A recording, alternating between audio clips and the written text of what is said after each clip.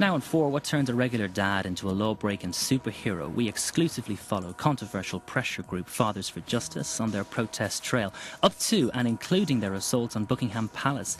Dad's Army, the men that stormed the palace, contains strong language throughout. Hands up who's prepared to get um, arrested today.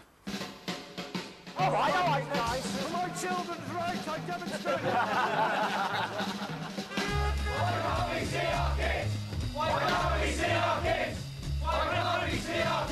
This is Fathers for Justice at Work, a controversial direct action group dedicated to changing family law in Britain.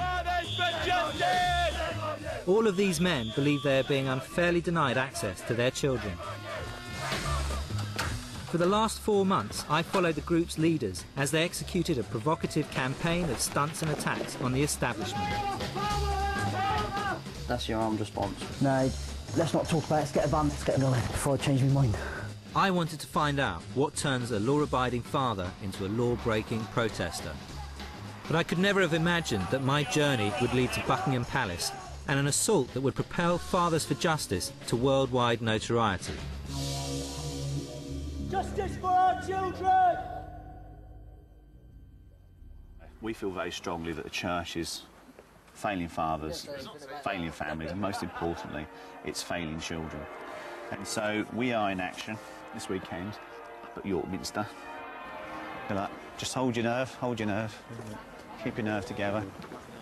I'd only spent a short time with Fathers for Justice, but it was clear the success of their protests had more to do with surprise and daring rather than their planning. Go on, Dave. Stand by. We've, well, we've been rumbled. The security guard has just come out and asked us what we're doing.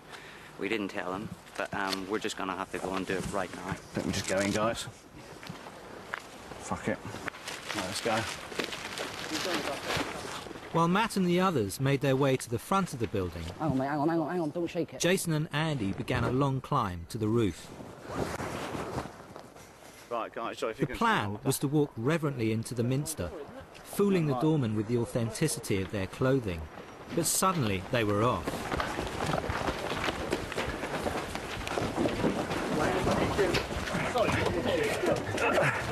Let us in then. Don't be stupid.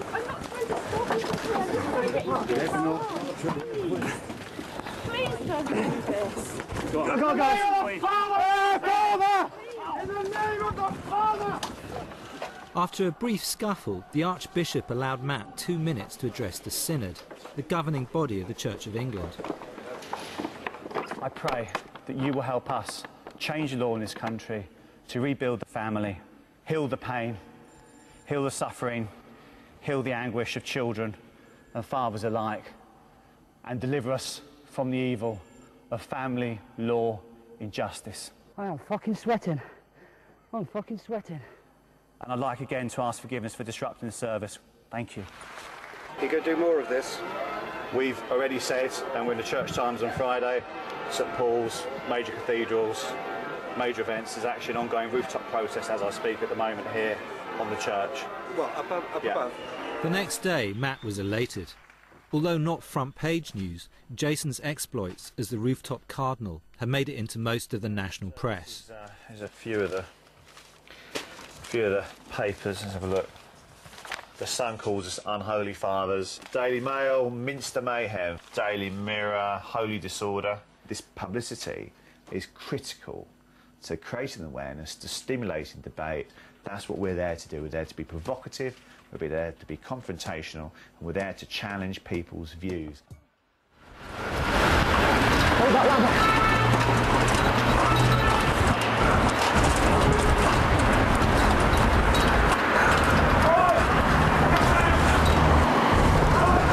justice! Fathers for justice! Do not move! Get down that ladder, man! Get down! Get down! Get down!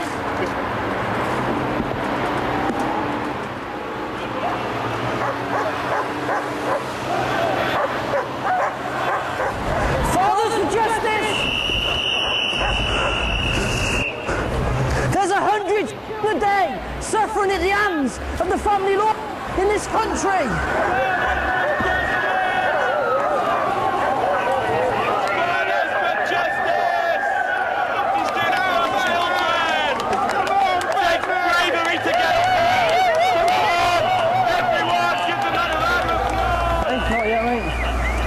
to bother you.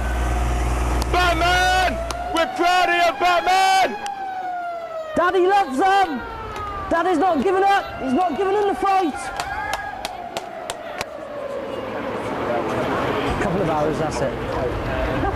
Couple of camera crews, couple of pictures. Well, there's not the camera crews are not here yet. No, they're not. No, they're not. Not yet. Amazingly, Jason looked calm and relaxed as he chatted to the palace security. Within a couple of hours, the media was streaming footage to every country in the world. Jason wasn't just on a six inch ledge, he was on a worldwide platform. Come on, Chase! Come on, Chase! Yeah, that's pretty impressive actually. It's great because obviously I'm looking at the police watching me, but they don't look too clever, do they? They must really fucking hate us. Yeah, it's a byproduct of what we do that we highlight problems in security, and but let's face it, it is only Batman up there. It's not a terrorist. That shirt would have looked good with Robin on that side as well.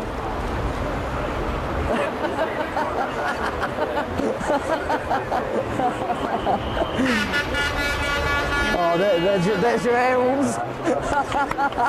With typical PR spin, Matt had a soundbite to justify the assault.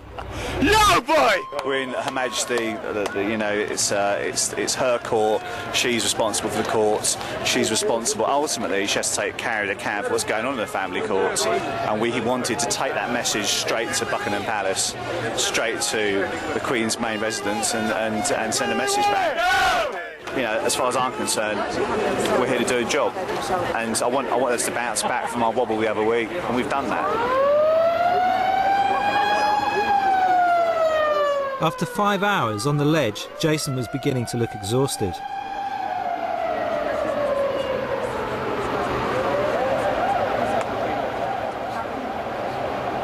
Below him, Dave was telling the world how an armed guard persuaded him down the ladder.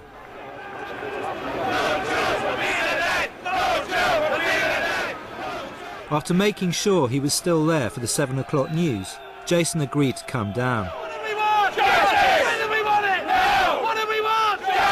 Buckingham Palace is a far cry from York Minster, and no one, least of all Jason, could know how much his time on the ledge would cost him.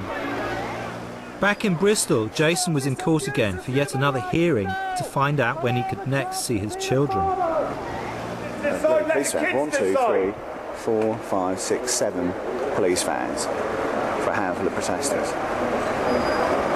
The words overkill might kind of spring to mind. F J turned out to support Jason, but with his Buckingham Palace notoriety, the police decided to clamp down on any potential trouble. They prevented access to the court building. Matt was back in the thick of it again. What do we want? What do we want? Okay. I know I I read in the paper that 50 men dressed as Batman were protesting outside the Colosseum in Rome. Branches of F for J were being set up in Canada and America, and 2,000 more fathers had applied to sign up online in the UK. One of Matt's cheesier soundbites called F for J the suffragents of the 21st century. Maybe that's how they'll be remembered. Eventually, Jason emerged from the court. His access problems remain unsolved, but his commitment to change the system of family law remains unshaken. So you can't carry on scaling buildings? I'm going to carry scaling buildings, of course I am. I'm going to carry on being um, very active. I know I'm going to have to watch me back because I, I followed and everything else. But you watch. I've never let you down before. I told you I was going to do something and I've done it on numerous occasions. Very shortly, I'm doing something else again.